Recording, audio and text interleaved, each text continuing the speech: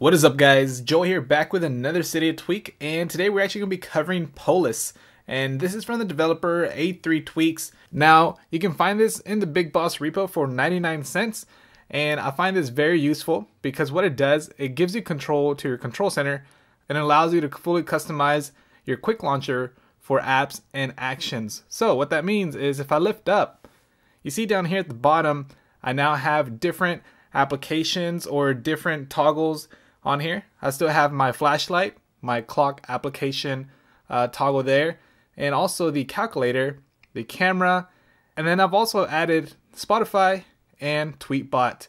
Now, if I go back to the calculator here, you will notice if I tap on that, it's not your regular calculator application because I've actually added another application that's another calculator. And then I simply just put the icon to be a calculator. So I think that is pretty neat. Uh, let's go ahead and open up another thing. Got Spotify here, so you can add different applications. And yes, I do listen to Ellie Goulding. Don't hate, because she is awesome and she's beautiful. And right down here we have Tweetbot. So you see that it opens up to uh, whatever application you want to set. Also, if you're not following me on my other uh, Twitter there. Go ahead and follow me, JB24Fit. So let's go ahead and check out some of the settings on Polus. So if we see here, it's very simple. All you got to do is select your application that you want to choose, that you want to be shown at the very bottom. So right now I have the camera, the clock, and a couple of other applications like Spotify, of course, and Tweetbot. But you can go ahead and select different ones. So for example, let's choose maps. And then going back, we have our arrange order. So we can go ahead and order by recently open. You can disable that or enable it. What that's going to do is every time you open an application, so let's go ahead and do that real quick. So you see there, it's in the order of what I've opened last. So you see there, I opened Tweetbot last and then Spotify and Calculator. So you can turn that on and off. I have that off.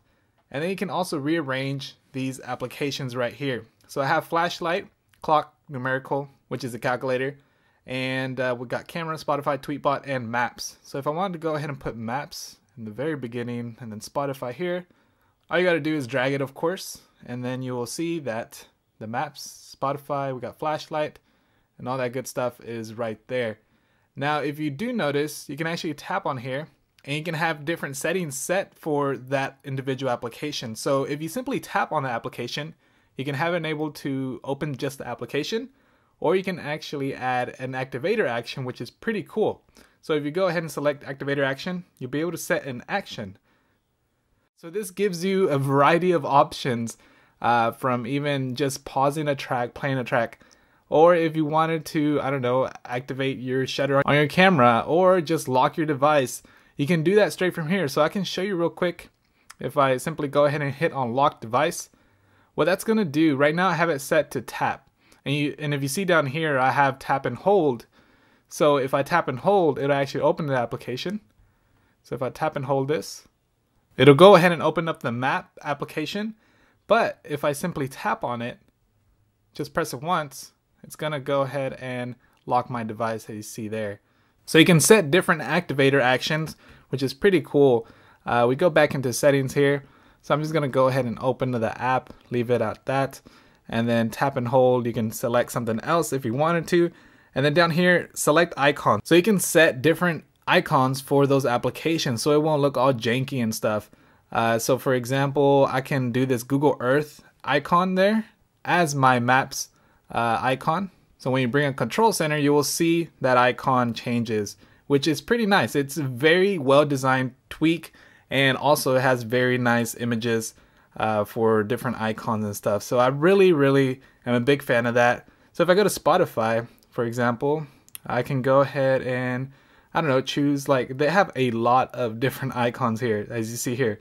So these are gonna be all the icons. So I can even select like for example that there, and then it'll change the Spotify icon to just a music symbol. So you have many options to do with each individual application if you just want to tap on it and open it or tap and hold and it'll do some different gesture. Like for example, on Spotify, you can do, I don't know, if you set an activator action, you can set it so you can play and pause a track or something.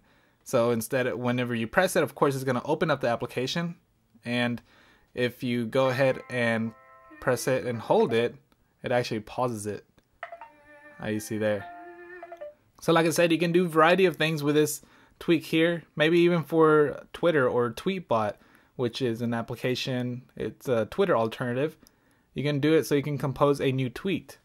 So if I go ahead and open up Tweetbot, as also if you notice, Tweetbot is not shown here, but you can simply scroll over to the right and then see all your other applications that you've added. We'll get into more detail on this here in a second, but if you simply tap and hold on this, you see that it composes a little Twitter uh, tweet or whatnot, as you see there.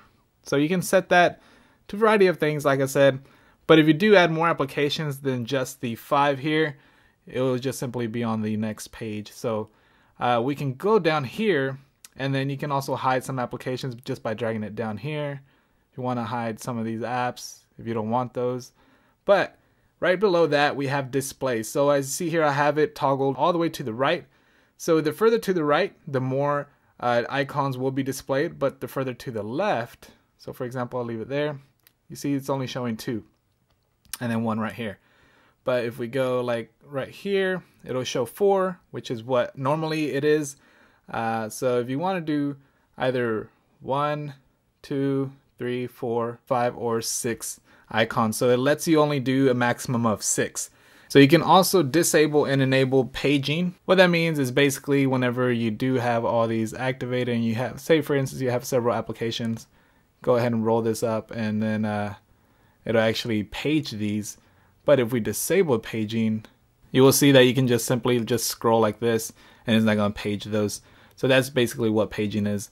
Uh, but open to first page, you can also enable that or disable that. Basically, if we go ahead and disable that, we'll go here. See tweetbots right here.